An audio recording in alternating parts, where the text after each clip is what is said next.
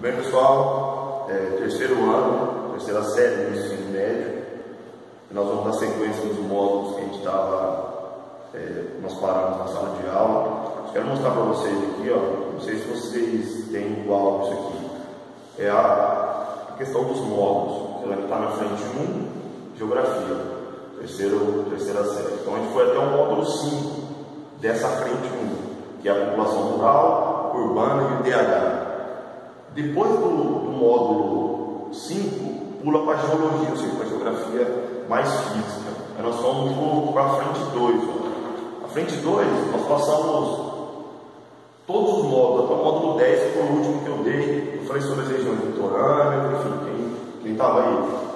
É o último módulo, nós passamos por esses 10 módulos.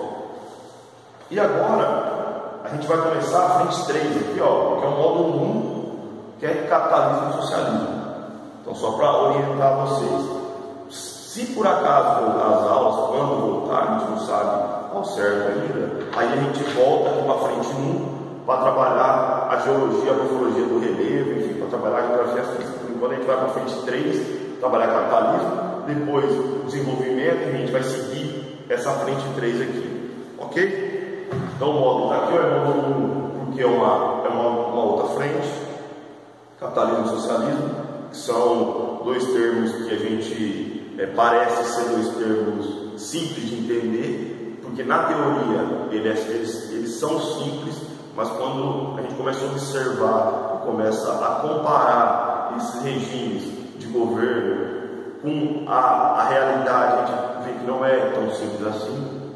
Então, mas é importante a gente compreender até para não sair falando coisas sem saber, para não entrar no discurso do senso. Vamos, se quer discutir uma coisa, entenda, leia, aprenda ela e depois a gente sai discutindo, sai debatendo, que fica uma coisa mais é, é inteligente, é, interessante o debate. Então vamos lá, pessoal. São sistemas econômicos? Pode-se dizer que sim, porque é a relação que o homem tem com o seu ganho, ou seja, com o seu excedente de trabalho, com o seu dinheiro, com o seu capital, enfim. Então, essa relação e também a relação do Estado com esse capital, esse ganho que a sociedade tem. Então, são regimes econômicos. Mas, da, da forma como a gente lida com o nosso excedente, com o nosso dinheiro, com o nosso capital, influencia diretamente no nosso estilo de vida, na nossa cultura, na nossa forma de se organizar em sociedade, em família. Então é um sistema econômico, mas que tem todas as implicações, todas as influências em todo o restante é, do, da nossa vida em sociedade. Então eu vou colocar aqui características principais na teoria do regime capitalista. É o predomínio da propriedade privada, ou seja, as coisas estão mais na mão das pessoas individuais do que do Estado. Economia de mercado, regida pelas relações entre oferta e procura, é a questão do liberalismo, ou seja, se uma pessoa tem muita coisa para vender e tem pouca demanda, esse preço vai cair lá embaixo. Então ela vai ter que inovar, vai ter que fazer diferente, enfim. Então o mercado, segundo o capitalismo, ou segundo o neoliberalismo, ele se autorregulamenta. Isso na teoria. Não esqueça que nós estamos falando de teoria capitalista e na teoria socialista. Ela possui uma burguesia, ou seja, ela se divide em classes sociais. Isso é uma característica do regime capitalista. Não, não que isso seja bom, não que isso seja ruim, não é essa a questão, mas a questão é que na teoria ela se divide em classes sociais, que ficou conhecida como burguesia, que possui os meios de produção. O cara é o dono da fábrica, o dono da fazenda, ele, ele tem os meios necessários para que se faça a produção. O outro lado é o proletariado, que na teoria vende sua força de trabalho para esse burguês para poder sobreviver, enfim, em troca de um, de um salário.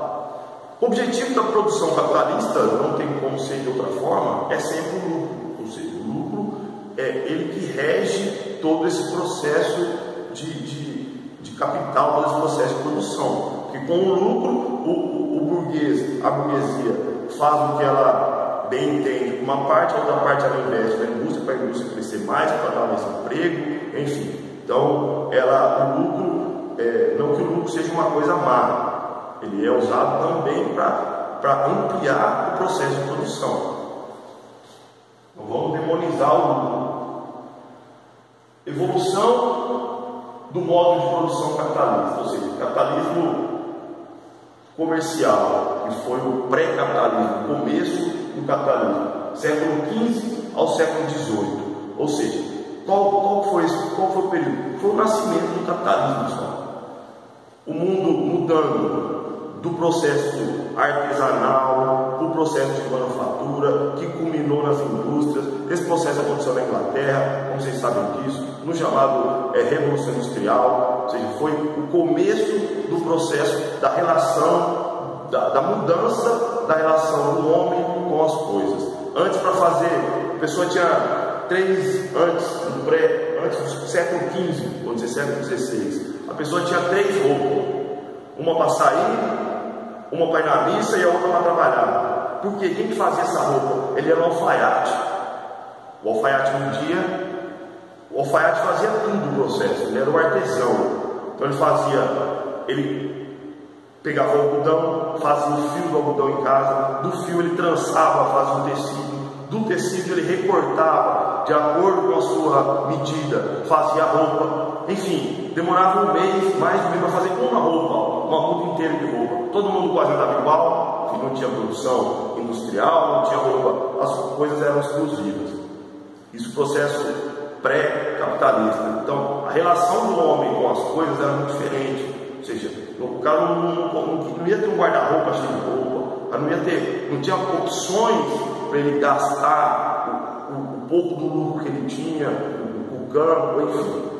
Isso nasceu com a Revolução Industrial, ou seja, do artesanato mudou para a manufatura, começaram a fazer as coisas mais de forma mais rápida, da manufatura mudou para as fábricas, teve aquele caos da revolução, da revolução industrial, muita gente morreu, a urbanização foi caótica, a gente sabe muito bem o que aconteceu no nascimento das indústrias, foi caótico isso na Inglaterra.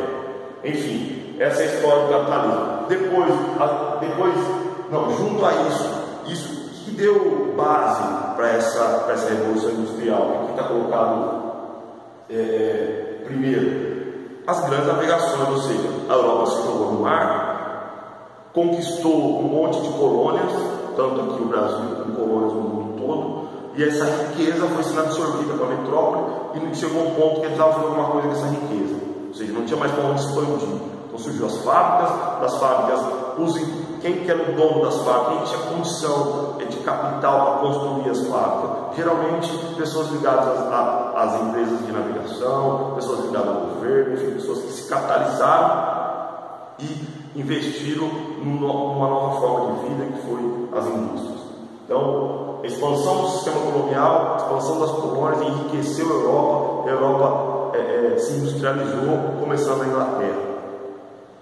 Colonialismo, descobrimento da América, que não é descobrimento, esse, esse termo aqui vocês, é um termo que a gente não usa mais, porque como é que você vai descobrir uma coisa que já foi achada? A América não foi descoberta, a América foi conquistada, invadida, assaltada, menos descoberta, porque tinha pessoas morando aqui. Então a gente não pode dizer que como é que você vai descobrir uma coisa que já foi achada? Então a América foi conquistada, foi colonizada, esse termo que está na apostila aqui está errado mercantilismo, metalismo, depois que as colônias estavam conquistadas, elas foram sendo assaltadas, ou seja, é, ouro e prata, da, dando exemplo do Brasil, do Brasil para Portugal de forma absurda, navios carregados de ouro, na, na África a mesma coisa, então a Europa foi se metalizando, a gente chama metalismo, foi enriquecendo com metais, com ouro, com prata, depois veio a Revolução Industrial, como eu falei, veio as manufaturas, começou a surgir as coisas, mais opções de coisas para serem compradas, para serem adquiridas, e assim nasce o nosso amigo capitalismo.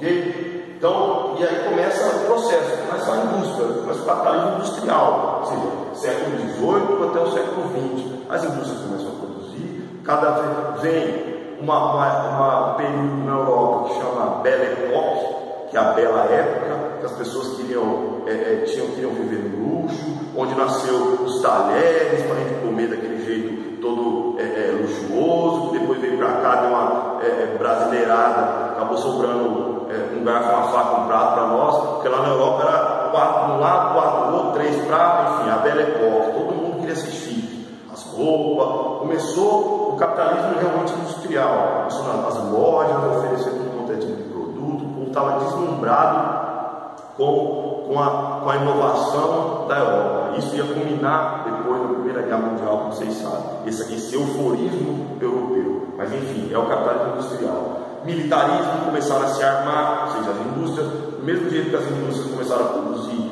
bens de consumo, começaram a produzir armas também, tinha tecnologia para isso, ou seja, começou a criar impérios, países poderosos, com, com nações que se é, fortaleciam justamente com é, discursos nacionalistas, isso começou a acontecer na Europa. Racismo é onde nasce o neocolonialismo, ou seja, novas colônias sendo conquistadas a partir da África, enfim, o processo industrial, o capitalismo do jeito que a gente conhece, se consolida nesse período aqui até o século XIX. Aí começa a outra fase, gente está aqui, ó, o capitalismo comercial, que é o começo, eu falei para vocês. Começaram, é a revolução industrial. O capitalismo industrial é o, já é a indústria consolidada, já é essa, essa Europa produzindo, se militarizando, enfim, fazendo novas colônias, adquirindo máquinas quanto é tipo. Esse é o capitalismo industrial. E o último capitalismo, a última fase, é o capitalismo financeiro ou monopolista, que é entre os bancos, entre as ações, a bolsa de valores. É o capitalismo vira, o dinheiro começa a ser trabalhado, o dinheiro vira uma mercadoria, não, mas é, não é só mais para comprar as coisas, ele gera mais dinheiro também, como você vende dinheiro. O que é o banco? Quando o banco faz um empréstimo para você, está te vendendo dinheiro, ou seja, ele está te vendendo 100 reais a 120 que você paga de, de, de imposto, né? você vai um financiamento do banco hoje. Você lá, você pega 5 mil, faz a conta, você vai pagar por mês, quanto você vai pagar no final? 8 mil, então ele está te vendendo 5 mil a 8 mil. É, é uma, é, é simples esse, essa mercantilização do dinheiro. Formação de grandes monopólios, conglomerados financeiros, ou seja, as grandes indústrias se juntaram, e são características do capitalismo financeiro. Intervenção do Estado é, na economia, querendo ou não, os, os Estados, os países é, têm influência direta na economia, uns menos, outros mais, não existe Estado que não interfere em nada na economia não tem como. Empresas multinacionais, transnacionais, internacionalização da produção, comunicações, comércio moeda. A globalização, a globalização dos blocos econômicos, enfim, o capitalismo financeiro que a gente vê hoje acontecendo. É, tranquilo, pessoal, essa questão do capitalismo, na teoria é isso. A gente sabe que na prática tem várias variações. Não tem como colocar um país, colocar isso aqui numa caixa, colocar o país dentro, é assim que não é. Então, cada, cada lugar é de um jeito, cada, cada país lida com o seu capital de forma diferente, pode ser uns parecidos, outros não, uns capitalistas, outros mais socialistas, como a gente vai ver agora. Então, características do sistema socialista na teoria. Predomínio da propriedade pública, ou seja, o Estado tem mais propriedade do que é, as pessoas individuais, e o Estado controla os meios de produção. Então já começa aí a primeira contradição do socialismo. Então, é, aonde, para ser um país socialista, o Estado tem que controlar os meios de produção, o que produz. Senão, fica na mão do burguês, e no burguês é capitalismo. Então já começa aí a primeira contradição. Então não adianta a gente, a gente querer falar que o país é socialista se os meios de produção não na mão do Estado, está na mão de particulares. Já começa a primeira contradição. Economia centralizada, tal qual regida pela planificação estatal. Ou seja, a economia o Estado controla, tem uma planificação, ou seja, é, não tem diferença dentro da máquina estatal, na teoria, isso. Ausência de classes sociais, meios de produção são controlados pelo Estado, que eu falei. Pessoal, então, é, essa ausência de classes sociais é muito, é muito complicado a gente dizer isso, porque isso acaba entrando naquele socialismo que a gente fala utópico. O que, que é uma utopia? Uma utopia é aquilo que está escrito, é bem bonito, é bem tal, mas na prática a gente não vê acontecer. Então, quando a gente fala de ausência das classes sociais, é outra contradição é, é, que o socialismo tem, ou seja, é muito difícil a gente viver sem essa diferença, porque somos diferentes entre nós. Os meios de produção são controlados pelo Estado, como eu falei para vocês. O trabalho, a remuneração, teoricamente, teoricamente, é feita segundo as necessidades de cada um, considerando, é claro, a sua qualidade, a qualidade do serviço. A produção é voltada fundamentalmente a atender diretamente ou indiretamente às necessidades da sociedade. Então, qualquer a questão do lucro, o lucro que o capitalista investe nele, investe na fábrica, o lucro, teoricamente, no socialismo é revertido indiretamente ou diretamente sociedade de alguma forma. Todo ele. Então, é, então pessoal, para finalizar essa questão do socialismo aqui, fala, fala pouco aqui na postura de vocês. É, é, muito, eu vejo muito triste quando a gente vê essas discussões acontecendo em redes sociais, em, em, no, no, nos botecos por aí, que a pessoa não entende os regimes, não entende o que está falando. Muitas vezes, então, eu não quero que vocês, alunos do terceiro ano, objetivo, alunos inteligentes, é, esclarecidos, cheguem e saiam falando é, bobagem por aí. Então, para ser socialista, o Estado tem que controlar os meios de produção. Senão, não é socialismo. Ou seja, se tem uma fábrica que não é do Estado, não é socialismo, é capitalismo, porque o dono da fábrica é o burguês. O burguês visa o lucro, enfim. E quando a gente vai falar de socialismo, pessoal, não, não dá para pôr também, que nem dá para pôr tudo dentro de uma caixa. Ou seja, no Brasil existem, vamos fazer o cenário do Brasil. No Brasil existe um pouco de cada. O Brasil, o Brasil vai tá rumo ao socialismo, tudo bem. Qual que é as práticas socialistas que a gente pode identificar aqui no Brasil? O que o Estado controla? Educação pública, então é uma, é uma prática socialista. Sistema único de saúde é uma prática socialista. O que mais? É, é, enfim, tudo que o Estado abraça são práticas socialistas. Aí é prática capitalizar as empresas que podem produzir à vontade, que pode comprar, a gente tem como é, é fazer uma, um comércio para gerar lucro. Então, o capitalismo também está presente. Então, não tem como é, é dosar isso? Essa discussão de Estado máximo, Estado mínimo, uma hora a gente vai discutir isso em sala. Acho que a gente tem que é, observar a coisa de forma mais pragmática, ou seja, o que a gente precisa do Estado, o que a gente não precisa, a gente paga muito imposto, tem vocês aqui, é, numa escola particular, vocês pagam escola duas vezes, porque se você paga um imposto alto, que é para o Estado te dar educação de qualidade, e você paga a mensalidade também, você está pagando a escola duas vezes. Então isso é errado no sistema. A gente deveria, com a quantidade de imposto que a gente paga, deveria ter educação de qualidade. Mas não é, na prática, não é bem assim. Agora vamos criticar o socialismo de forma geral. Não tem sabe por quê? Socialismo na China foi de um jeito. Vamos começar lá, 1917, a Revolução, é, é, a Revolução Vermelha da União Soviética, transformou a União Soviética. Começou ali. A União Soviética, é, o socialismo foi de um jeito, na China é de uma forma, em Cuba é de uma forma, na Coreia do Norte é de outra.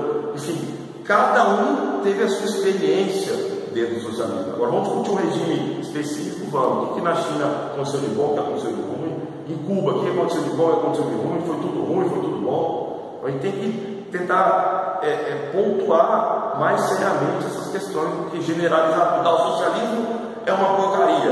O cara tá, precisa do doente, corre no SUS. Então como você acha que o socialismo é porcaria? Vai no SUS. Então gente tem que começar a pontuar o que são práticas socialistas, o que são práticas capitalistas, não demonizar tudo, polarizar um para cada canto, tem que ver as práticas e pensar de forma mais inteligente e de forma mais racional sobre essas questões é, de, de, de, sociedade. Então, pessoal, os vocês estão aqui, já falei bastante, não dá para a gente ficar é, é, alongando muito. Se a gente for a gente volta, eu quero fazer uma discussão com vocês sobre capitalismo social na sala de aula, de forma bem é, inteligente, de forma respeitosa, do jeito que vocês são. Ok, pessoal? Então tá, façam os exercícios, que aí a gente vai. Vocês vão, vocês vão ter que enviar esse exercício para mim, a gente não sabe como ainda. Mas enfim, se demorar, a gente volta, grava de novo e segue, segue, segue os modos aí. Tranquilo, pessoal? Se cuide por aí.